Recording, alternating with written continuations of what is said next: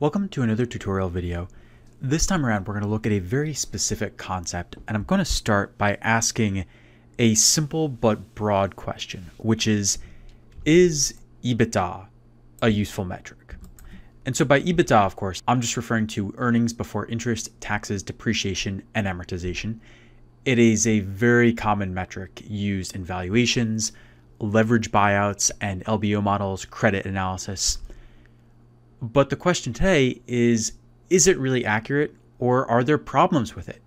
And if there are problems with it, are there ways to see how accurate it really is? Where I'm going with this question is remember in some of our previous lessons, we looked at EBITDA versus EBIT versus net income, for example. And we said that the purpose of EBITDA is that it's supposed to be a proxy for core recurring business cash flow from operations before the impact of a company's capital structure and its taxes. So, are there cases where this might not hold up? And are there ways to detect when this definition might not really apply to a company's EBITDA? And of course, the answer is yes. And the solution to this problem is called free cash flow conversion analysis. Here are the problems with EBITDA in short. As I just said, it's supposed to be a proxy for a company's cash flow from operations because just like with cash flow from operations, depreciation and amortization gets added back and capex is excluded. So if you go and look at a company's financials, for example, I've pulled up Foot Locker right here, and when you go to their cash flow statement, I'm just going to Google Finance to look at this. People often argue that EBITDA is similar to cash flow from operations or cash from operating activities, as they call it here, because in both, the major adjustment is adding back depreciation and amortization. And that certainly is the case here. It's the biggest item in the section by far after the company's net income. And for that reason, and for the fact that neither one of these reflects capital expenditures, people often say that EBITDA acts as a proxy for cash flow from operations. Of course, there are some problems with this. First off, what about the fact that cash flow from operations also includes taxes and interest? Because those could both be huge. In this example, since we're starting with net income in cash flow from operations, our net income, of course, includes the company's taxes. And if they have any interest income or interest expense, it's also going to include that. So you're not really comparing apples to oranges. And because of those items alone, you are going to see differences between EBITDA and cash flow from operations. Working capital could also really throw things off. Now, in this case, for Foot Locker, working capital is fairly small, but in one of these years, in the fiscal 2013 year, it actually goes up to a much bigger number. And so this is actually a pretty significant portion of the company's net income. And so as a result, if you ignore the change in working capital as you do in the EBITDA calculation, that could also really throw things off. And then finally, with both of these metrics, cash flow from operations and EBITDA, we are completely ignoring capital expenditures.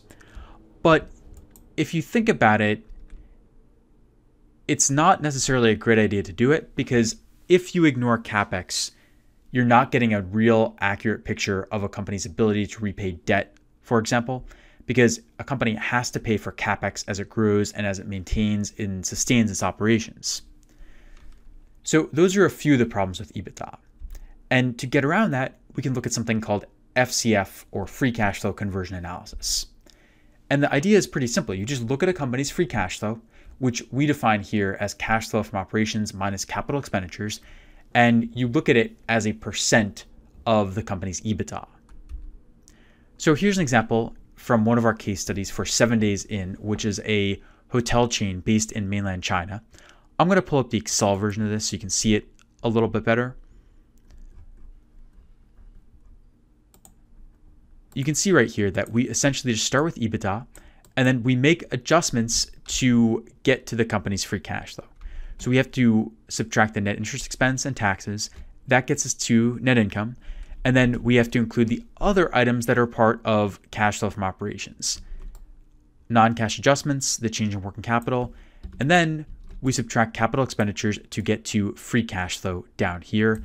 And then to calculate the conversion, we look at free cash flow as a percent of EBITDA.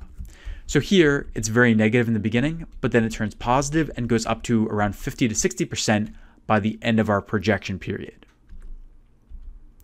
And the goal is to see how close a company's EBITDA is to its discretionary cash flow. So, to give you another example, if we look at it for Foot Locker here, going back to the same company, you can get all this information from Google Finance. You can literally go there and go to their income statement and take the operating income from there and also get the taxes and other information directly from here. And then you can get all the cash flow related items from the cash flow statement that is listed on Google Finance. So I've just input these into Excel and we can take operating income and add D&A from the cash flow statement to get to EBITDA and copy this across. Free cash flow, we can calculate by taking cash flow from operations and subtracting CapEx. Copy that across. Or we could get it to it in the same way that we did in the Seven Days Inn case study, where we start with EBITDA, subtract net interest expense and taxes to get to net income, and then we make these non cash adjustments and the working capital adjustment, and then we subtract capex. So if we do it that way, we get to the same exact numbers that we do up here. We just calculate it a bit differently. And then to calculate free cash flow conversion, we take the free cash flow and divide by the company's EBITDA and copy this across. We can see that it fluctuates quite a bit here from over 60% to down to 30 or 40% to back up to between 50 and 60%. The interpretation here would be that it is fluctuating quite a bit, but if you dig into it and you look at the reasons why, it seems to mostly be caused by the company's changing working capital requirements. Because EBITDA is increasing each year, net interest expense is staying about the same, taxes are increasing each year, deferred taxes are staying in the same range, other non cash items are about the same, capital expenditures are increasing each year in tandem with EBITDA. So it really seems to be this massive increase in working capital in year two that caused this. We don't know what's responsible for that. So we need to dig in and see is it because of a big inventory buildup? Is it because a lot of payments were owed to suppliers? Is it because they're waiting too long to get cash from customers? So we would need to go into that further to see what is really driving this. We'd also have to look at other companies and see how Nike's or Foot Locker's free cash flow conversion compares to theirs and see if it is ahead or behind or in line with them. How do you interpret this beyond what we just mentioned? And the question you're probably wondering is let's say you have a company that has 100% or over 100% free cash flow conversion. Is that good? And the answer is that, again, it really depends on why it's that high. So, for example, if it's sustainable and it's based on very high upfront cash payments from customers, then sure, generally it's a positive sign because if customers are paying you before you have to actually paid to deliver the product or service, or if they're paying you before they even get the product or service, that is almost always a positive because it makes it easier for you to generate cash and to grow the business. On the other hand, if free cash flow conversion is this high because of a one time tax benefit, or because of some other non recurring item, or because of unusual working capital treatment because the company suddenly doesn't need as much inventory or something like that, then it's not so positive. Here are a couple ways you can use free cash flow conversion analysis. First off, you can use it to compare different companies and see which one has the highest free cash flow conversion percentage. I have here an example for HomeAway, which is an internet based company that provides services similar to Airbnb, where essentially you can rent other people's homes on the site. And in their filings, they actually list their adjusted EBITDA and free cash flow. And you can see how their adjusted EBITDA and free cash flow are very close here. Other people have noted the same thing. And you can find equity research reports. This one's from Barclays, where they actually compare HomeAway's free cash flow conversion to other companies here Expedia, Priceline, Shutterfly, TripAdvisor. You get the idea. Other online travel related companies and find that HomeAway pretty much leads the pack. Expedia is slightly higher at 125%, but the rest are all lower. Now, by itself, this may or may not mean anything, but often people will argue that companies that convert EBITDA into free cash flow at a higher percentage are deserving of a higher valuation multiple. So that's one way you could use this. You could also use it to develop your own investment thesis. One example is the Seven Days Inn case study that I just showed you earlier. In a lot of cases, an investment or a leverage buyout will work because of a company's free cash flow generation and its ability to improve that over time. So, with Seven Days Inn, for example, the reason their free cash flow conversion goes up from negative territory to more like 50 or 60% is because they are switching to a franchise business model. Sort of like what McDonald's does and what many other hotel and restaurant chains do.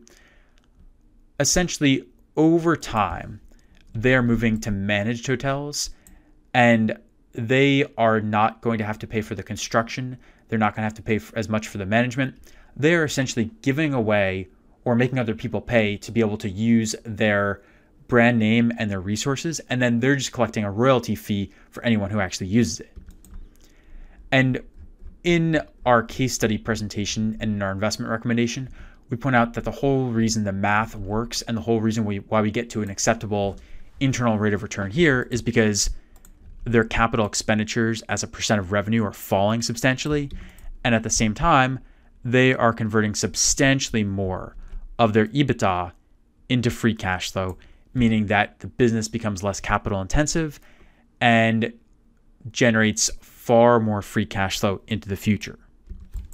So you can certainly use the analysis to support that type of argument, especially when the business is undergoing a shift, such as going from all owned and operated locations to the franchise model. And then the third way you can use it is to look at it along with credit stats and ratios to figure out how much debt a company can take on. For example, let's say that the comparable companies have a leverage ratio of 4x on average, or for the median, let's say. And on average, the free cash flow conversion is around 50%. But then your company has a free cash flow conversion of 75%. So the implication here may be that even though the median debt to EBITDA is 4x, since our company generates so much more free cash flow, maybe it can afford to take on more than 4x debt to EBITDA, and maybe lenders will be more comfortable with that.